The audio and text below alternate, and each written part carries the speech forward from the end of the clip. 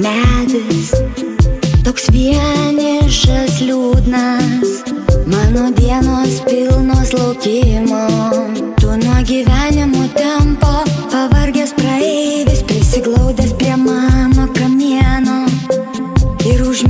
desmenude aquí.